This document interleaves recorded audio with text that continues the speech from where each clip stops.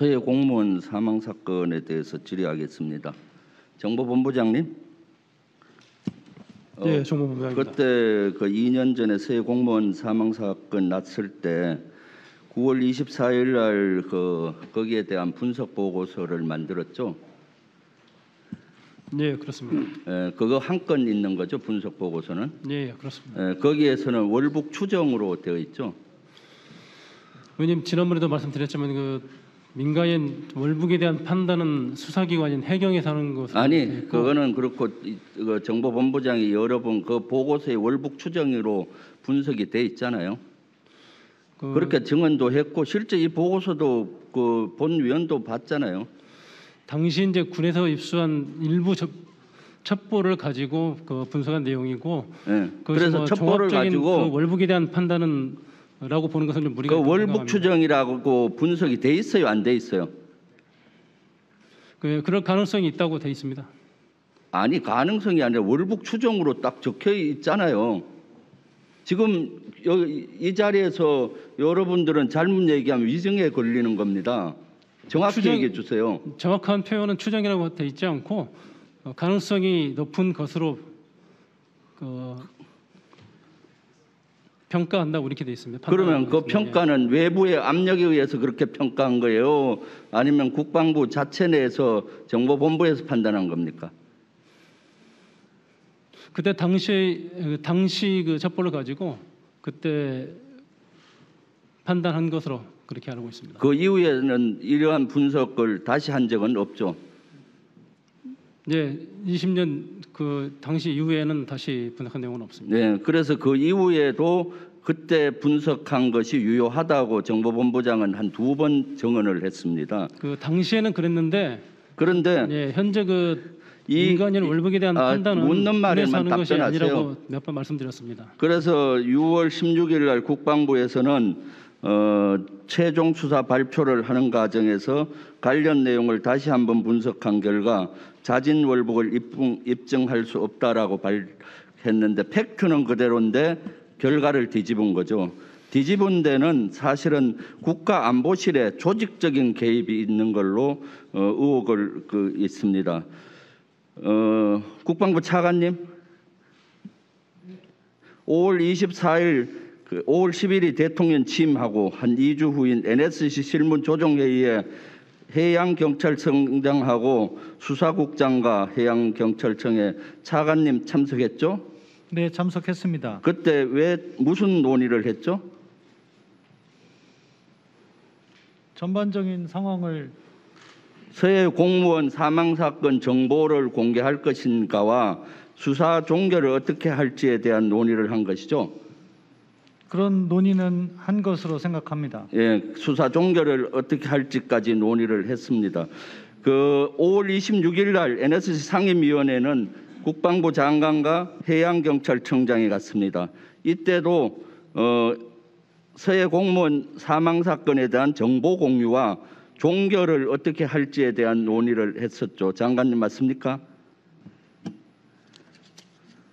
예, 5월 26일 NSC 상임위에서 논의된 내용은 핵심은 이겁니다. 종결을 어떻게 할지도 포함이 돼 있죠. 그리고 그 회의가 끝난 후에 5월 26일 날 장관님은 어, 국방부 와서 정책기획차장에게 관련 지시를 합니다. 추가 설명을 어떻게 할지 종결 보고 때 지시를 했고 5월 30일 날 정책기획차장은 종결 보고 때 국방부는 어떻게 설명할지 검토 회의를 했습니다. 그리고 6월 2일 날 국방부는 추가 설명을 추진하는 걸로 결정을 했습니다. 6월 22일 날 결정한 거 맞죠? 예, 제가 답변을 좀 드리겠습니다. 이 부분. 6월 2일 날 결정했습니까? 안 했습니까? 예, 추가 날짜는 설명. 제가 기억 못 하는데 했습니까? 안 했습니까? 그 어간의 결정을 하고 6월 16일 날 언론 설명을 했습니다. 예, 그렇죠. 그리고 6월 2일부터 16일 날 초안을 작성하며 여러 분 장관님은 보고를 받았습니다. 맞습니까? 여러 번 받았는지 기억은 나지 않지만은 제가 그 문항 그런데 보고를 받았습니다. 예. 최종 해양경찰청은 이때 지시를 5월 31일 날 와서 수사 종결을 어떻게 할지 논의를 해서 2일, 3일 수사심의위원회를 열어서 10월 3일 이후에 합니다. 수사 종결이 결정도 해양경찰청에서는 안 왔는데 국방부는 종결을 어떻게 할지 해서 같이 6월 16일 하는 것이죠. 이것이야말로 대통령실과 국방부 장관, 해양경찰청장이 조직적으로 조작 지시를 한 걸로 그 보입니다. 그래서 사실 지금 수사 대상은 문재인 대통령이 아니라 윤석열 대통령과 윤석열 안보실의 안보실 실장, 1차장인 김태호 차장, 국방부 장관, 국방부 차관, 해양경찰청장이 이렇게 팩트는 그대로인데 뒤집어진 것이 왜 뒤집었는지, 왜 조작 지시가 됐는지를 조사해야 된다고 본의원은 생각합니다. 정식으로 이것은 감사원 감사를 요구합니다. 의원님 제가 답변 드리겠습니다. 어, 많은 부분에 대해서 오해를 하시는 것 같습니다. 어, 국방부가 다시 어, 사실관계를 확인해서 6월 16일 날 언론을 설명하게 된 배경은 이렇습니다. 원래는 정보 공개 요에 대해서 항소를 하다가 그것을 해경에서 항소 취하를 하겠다고 결정을 합니다. 그리고 이 월북 추정에 대한 것은 국방부나 정보본부가 판단할 수 있는 능력이 있는 것이 아니고 그 권한을 부여받은 것도 아닙니다. 그것은 해경입니다.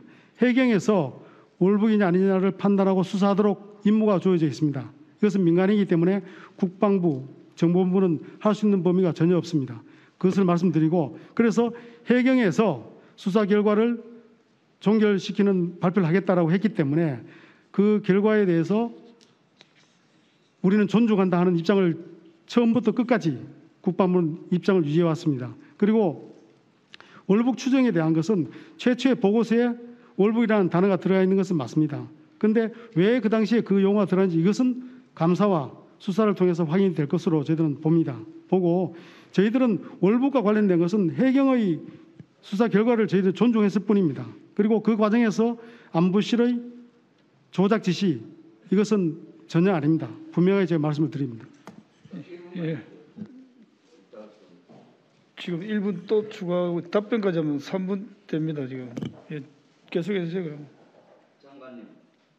아니 5월 24일, 25일 NSC에서 수사 종결에 대한 수사, 그 서해 공무원에 대한 정보 공유, 정보 공개에 대해만 하는데 이미 이때 수사 종결에 대한 이미 토의를 해서 top-down으로 그걸 내린 거죠. 왜 이때 그 수사 종결에 대한 토의를 한 겁니까? 의원님 top-down으로 내린 것이 아니라 해경에서 수사 종결 발표를 하겠다고 했고 그러면은 그 수사에 대한 월북에 대한 수사 결과를 해경에서 발표하게 되면은 그것을 국방부도 내용을 확인해야 되지 않겠습니까? 그 과정에서 일어났던 일입니다. 그러니까 해경에서 이때 수사 종결하겠다고 보고를 한 거죠. 수사 종결하겠다고 했던 것이죠. 그러니까 이것이야말로 조작 지시를 한 겁니다. 해경은 아직 그 자체로 수사 종결에 대한 개념도 없고 수사도 하지 않았는데 이미 여기 수사 종결에 대한 소위를 한 것이죠. 그리고 나서 해양 경찰청장도 와서 조직적으로 종결에 대한 이런 걸 하게 됩니다. 이것이야말로 당정대가 조직적으로 조작 지시를 해서 이것을 엎은 것입니다. 이것이야말로 국기물 아니고 국정농단입니다. 이상입니다. 한 가지만 더 말씀드리겠습니다. 저희들은 유족과 국민에게 사실관계를 정확히 알리는 것입니다. 여기서는 조작이나 국기문란이나 이런 것은 없다라고 제가 말씀드리겠습니다. 예, 김병현님 수고하셨습니다. 우리 서른 의원님 지금 하시겠습니까? 조금 쉬었다. 네, 지금 하겠습니다. 지금 하시겠습니까? 조심 백은종 그 투쟁의 기록 개벽이 출간되었습니다. 윤석열의 등장을 예언한 채 개벽 검찰 공화국을 막아라 무소불위의 검찰을 그동안 아무도 건드리지 못했다. 검찰을 손볼 세력이 어디에도 없었기 때문이다. 하지만 뛰는 검찰에 나는 국민이 있다. 전두환 군부 독재와 이명박근혜 정권마저 붕괴시킨 촛불 시민들이 그따위 검찰 출신 나부랭이들의 폭거에 굴하겠는가?